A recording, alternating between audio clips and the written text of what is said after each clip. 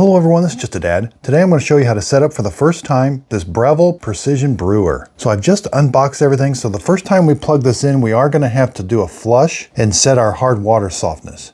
So I also rinsed everything out. They want you to, to um, wash the carafe. You're going to take the lid off, get this all nice and clean.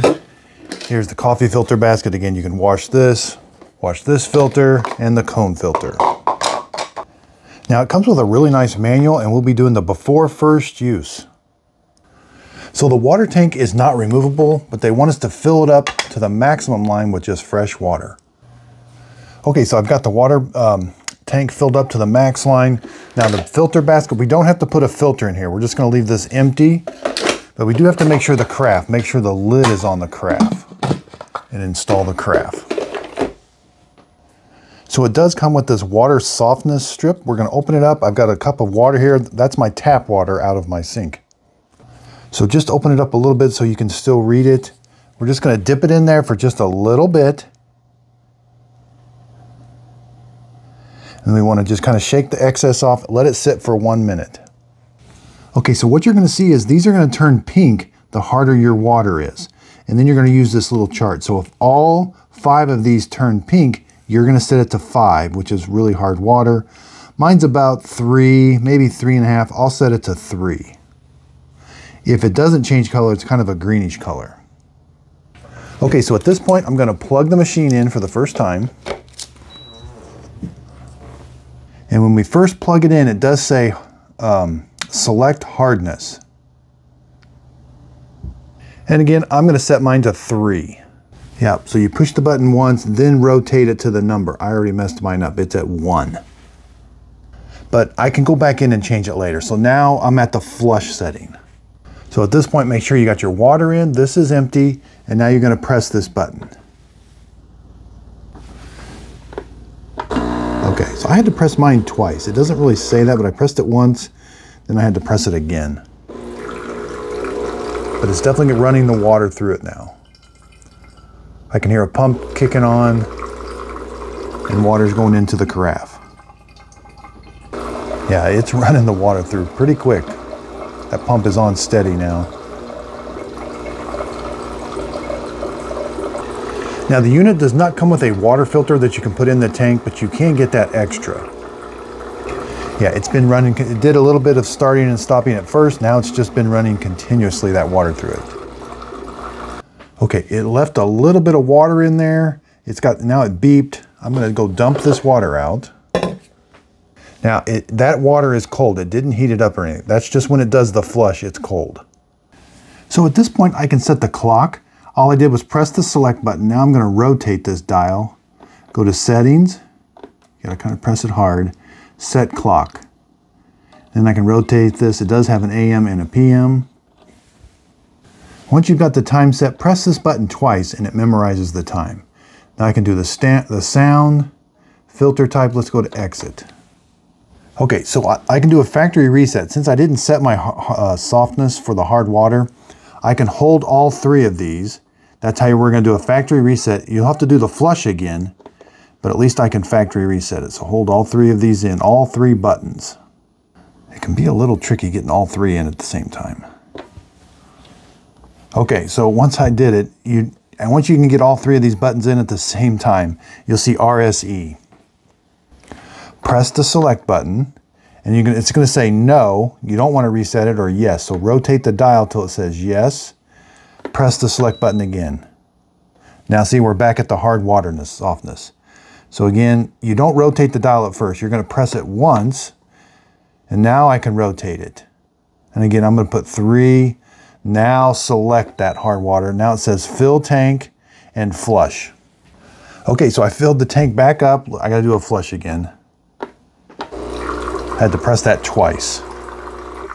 So if you don't have the hard water softness tester strip anymore, if you've got a bunch of white deposits around your shower head or around your sink faucet, that means you've got really hard water. So you'd probably want to set it to four or five. If you don't normally see that around your shower head or the white deposits around your sink, you'd want to set it probably to two.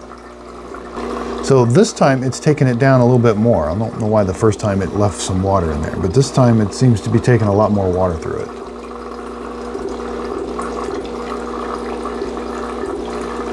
to the point where it's going to run it dry, it looks like. Okay, now we're back at the screen. I got to reset my time since I did a factory reset. Okay, so this is, we're all done with the flush and the setup. Now we can make coffee. So here, this is the filter basket. Now, I, I've got this reusable filter I can put in here. This is if you're doing like over eight cups. They really, if you're doing under eight cups, they want you to use this cone filter. They say it helps extract more flavor. So you're gonna put it in here. It's got these little ears on the side. And there's a little tab right here. You're gonna line that up with that. So basically across from the handle, the tab goes in. This is for a number four cone filter, but they don't give, they give you paper filters but that's for the when you're using the, you can use a paper filter in here just like this. You're not supposed to use the reusable or the paper at the same time. But they don't give you any number four cone filters. So you'll need to get some number four cone filters when you're using this, when you're using under eight cups. They want that to fit in there like that. Now the paper filters that come with it are for large basket style filters. Here I've got a standard 8 to 12 cup basket style filter. It's not big enough for this coffee maker. It takes a large one, which is almost nine and a half inches across. An 8 to 12 cup is about 8 inches across. It does come with a measuring spoon when you want to make your coffee. Now this container here contains, this is when you do a pour over. This is a different style brew head. Up here you can change this out. And then this is an adapter that you're going to sit on here so that when you put your um, pour over a brewer right here, this will go up here, which you can change out. They're really simple to turn this knob, and then this brew head comes out. So again, this is the one you're gonna use for just normal drip coffee maker. This is for pour over. I used a paper towel to kind of go up in there and kind of, kind of grab it. It is a little tricky to get out. And there is this like nut ring you're gonna take off. Okay, let's go over some sizes.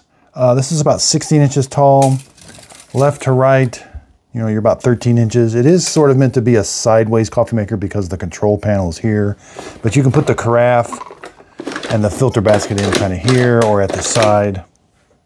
So front to back is about seven inches. It is a three prong cord. It's, it's uh, 39 inches long and it's got this like loop that makes it easy to plug in and out. But that does make it a little bit taller. Now this one does not come with the dripper. So if you want to do pour over, that is extra that you've got to get. There's a dripper that you can put underneath there for doing single cup pour overs. Here's what the bottom looks like. There is some cord storage. You can wrap the cord around there. There's what that brew head looks like. That's the one you're going to keep in there. Now it does say it's 120 volts AC, 60 hertz, 1,650 watts. I love that it comes with this really nice book that really talks a lot about coffee, about grinding your own coffee. This is really worth reading. I think it's got some really good information in it. So right now this is retailing for $330. I did find this at TJ Maxx. I think I got it for about $275. I'm going to do a video on reviewing it. It's probably going to be about two or three videos because there's so many different op options. There's iced coffee you can brew. I'm going to do a pour over with it. So I'm going to do several videos on this, but this is a very nice coffee maker. Also, it is Specialty Coffee Association certified. When I do my review, I'm going to be using my own coffee, Just a Dad Simple Sip Coffee. It's like a dark roast, Brazilian dark roast underneath the video. If you could give it a thumbs up, hit that thumbs up button. That really helps out my YouTube channel. Also be sure and check out my Just a Dad Videos group page on Facebook. This is where I do my free giveaways. So when I'm done with these coffee makers, I do give them away. And I just released my very first episode of Just a Dad Coffee Podcast, Coffee with Dad.